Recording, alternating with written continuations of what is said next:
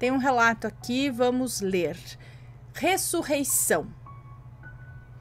Olá, Ana, Matheus e Assombrados. Ana, conheci seu canal no início de setembro, quando estava pesquisando a respeito de vampiros, acredita? Desde então, vi seus vídeos de cabo a rabo. Esse é o principal, esse é o principal, esse é o primeiro de muitos relatos que pretendo enviar para você e vou logo avisando. Não é dos curtinhos, não. Todos os nomes estão trocados. Um beijo e boa leitura. É médio. Uh, esse relato se passa com a minha mãe, no ano de 1996. Por aí. A partir de agora é ela contando. Ok, então a mãe dela aqui. Nem sempre fui evangélica. Antes de me converter, eu era daquelas que até bloco de carnaval tinha, junto com os meus. junto? Juntamente com meus maridos? Ah, tá, teve um depois. Outro. e ainda levava minhas filhas para pular conosco. Porém, após minha conversão ao cristianismo, essas coisas mudaram. Minhas filhas foram as primeiras a se converterem. Logo após, eu e só então meu marido. Um dia estávamos eu e meu marido em um círculo de oração, que é um momento de consagração e busca a Deus, e uma das mulheres foi tomada pelo Espírito Santo e disse assim: Uma pessoa aqui está com, com um tantinho assim de vida e fez o gesto indicando um pouquinho, sabe? Uma pessoa que está com um tantinho assim de vida. Mas Deus há de dar vida e vida em abundância.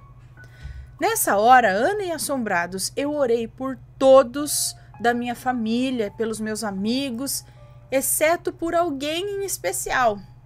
Eu, exceto por mim. Eu orei para todos, menos para mim.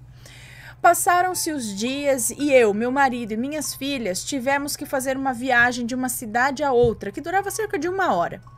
No caminho estávamos todos de cinto, mas a minha filha mais nova me pediu a revista que estava no porta-luvas do carro. Então, no porta-luvas? Então tirei o cinto e fui pegar. Mas para pegar no porta-luvas, tirou, tirou o cinto? Tirei o cinto e fui pegar a revista dela. Ana, quase na mesma hora, um caminhão carregando uma grande barra de ferro cruzou a rua para entrar em uma estradinha de terra. Tudo aconteceu muito rápido, eu só consegui ver aquela enorme barra de ferro vindo na minha direção. Quando acordei, estava tudo, estava é, tudo revirado. Minha, minha filha mais nova tinha ficado presa atrás do meu banco. Eu pedia para todos para que se acalmassem. Quando meu marido olhou para mim, ele ficou branco.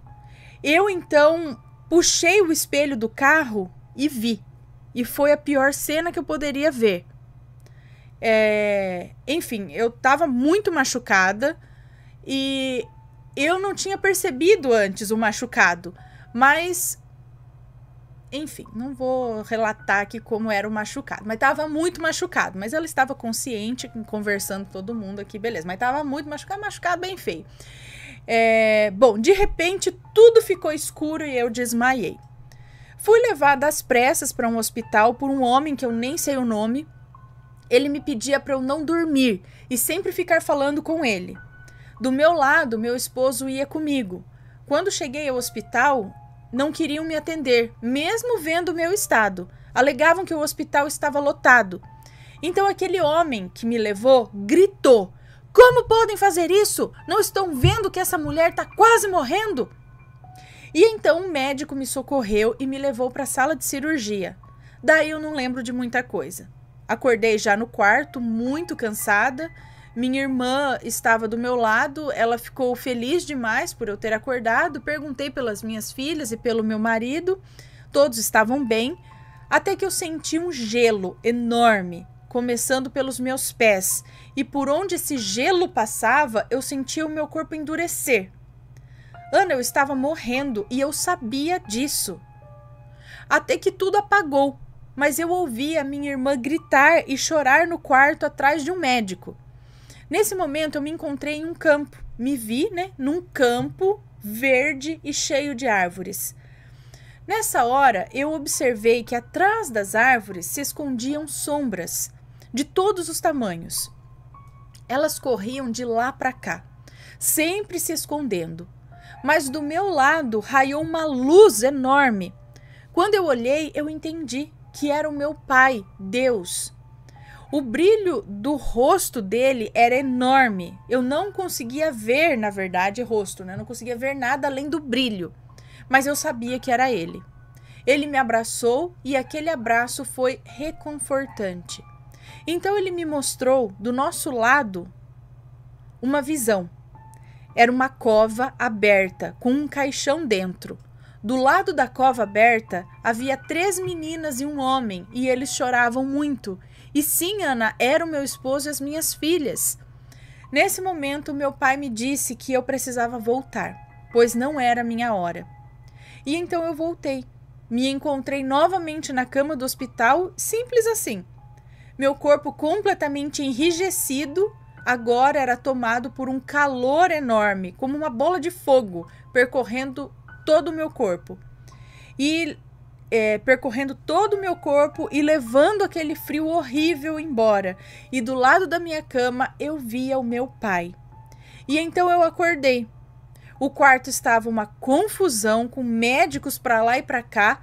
Na hora que o computador voltou a avisar os meus batimentos cardíacos, todos olharam para a cama e se assustaram com o que viram eu não só estava viva, mas de olhos abertos e acordada. Ana, nessa hora, uma médica começou a chorar e dizer que era um milagre que eles haviam presenciado ali, pois já fazia mais de uma hora que eu havia morrido. Sim, Ana, uma hora. Eu tenho que falar que as dores não sumiram, nem o corte e nem os pontos. Tudo estava lá ainda. Bom, os dias passaram e fui transferida para o quarto, onde contei meu testemunho para vários colegas, que sempre se emocionam. O Dia das Mães estava próximo, mas a minha alta estava prevista apenas para depois dessa data. Então eu orei e pedi a Deus que eu pudesse passar essa data tão especial com as minhas filhas em casa. Até que um dia antes do Dia das Mães daquele ano, recebi alta. Como eu havia pedido a Deus. Saí do hospital em cadeiras de roda, em, em uma cadeira de rodas, levada por meu esposo. E quando estávamos saindo, Deus me, Deus me fez olhar à minha direita. E era uma porta, e dela eu vi sair um caixão flutuando. E eu entendi que aquele caixão que saía daquela porta era o meu. E aquela porta era o necrotério. E desde então, sempre conto meu testemunho para todos e sempre contarei que Deus me deu vida e vida em abundância, como ele havia prometido. Bom, Ana, esse foi o meu relato. Não sei se ficou claro se todos vão acreditar, mas foi isso que aconteceu e eu sei bem disso. Um beijo e até mais relatos. Um beijo para você, muito obrigada. Mais uma coisa boa, muito bom uma EQM aí, né? Uma experiência de quase morte. Mas uma hora?